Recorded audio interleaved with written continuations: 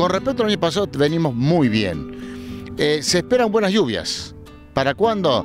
Para la segunda quincena de octubre en adelante. El periodo estacional de lluvia comienza entre el 19 de octubre y el 29 de octubre. Se espera una neutralidad lenta, paulatina y después moderada para la segunda parte de la primavera y segunda parte del verano 2022.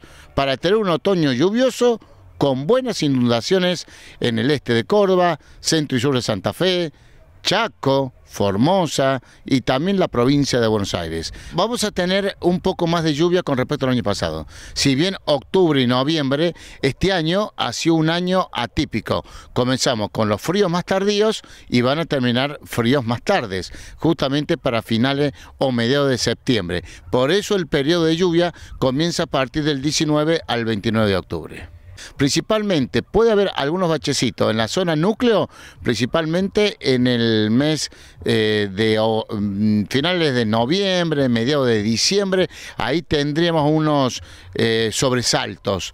La segunda quincena de, enero, más o menos 10 días, febrero, marzo y abril, llueve muy bien en la zona núcleo. Lo que puede faltar una, una parte del NOA y una parte del NEA, que va a llover un poco más temprano y después se va a regularizar para los meses finales de febrero o mitad de marzo, abril y mayo. Septiembre también es un punto clave para Córdoba, para Santa Fe, para Buenos Aires, para La Pampa, lo que va a venir muy bien estas precipitaciones. Lamentablemente nos falta heladas, por lo menos entre 5 y 10 días más con heladas. Con respecto al año pasado, estaba en un 15 a un 23% menos de la cantidad de heladas con respecto al 2020 el cierre y justamente para el espigón y el de, de los granos de trigo vamos a tener lluvia justo en el momento que hace falta, entre 20, 30, 15, 40 milímetros. Un evento o dos eventos de lluvia chico para agosto y a mitad de septiembre en adelante